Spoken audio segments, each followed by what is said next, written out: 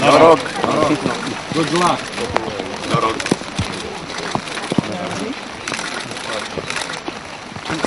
E un loc minunat din, din țara noastră și de asta am, am ținut uh, să aducem alteța sa aici, în acest sat românesc, tradițional românesc, care a câștigat atâtea, atâtea premii și suntem mândri că există așa un loc în țara noastră care putem să-l arătăm oaspeților noștri din, din Anglia. La așa un oaspete important, localnicii s-au îmbrăcat în costumele naționale. Au vrut să-l impresioneze pe prințul britanic.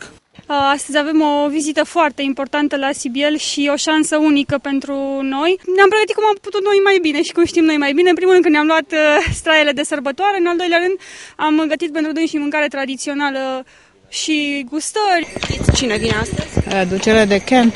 Ce știți despre el? Nu știu să vă spun nimic altceva. Sunteți curioasă să-l vedeți?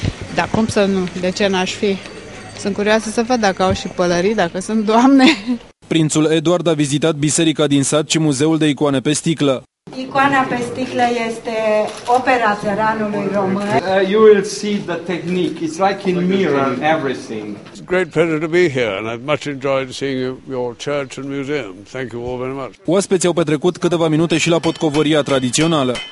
Yeah, by my hand. Thank you very much. It's lovely. Too hot? No, no. Yeah. No, not too bad. Nici n-am putut dormi azi noapte, cum să cad, că zic, dacă vine prințul în- la noi în Sibiu să vadă covăția mea amărâtă, ce să, cum să mai stai?